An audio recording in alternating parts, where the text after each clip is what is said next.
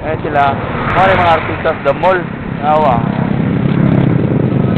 Oh, artista. Oh.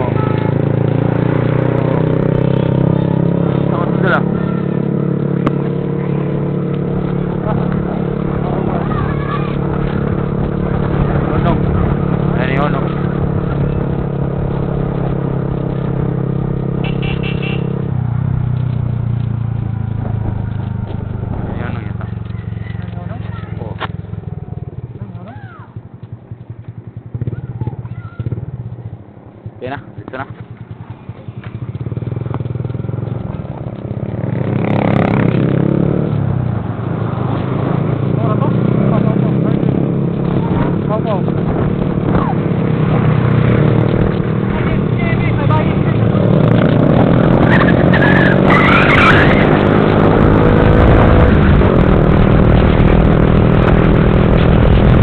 Open!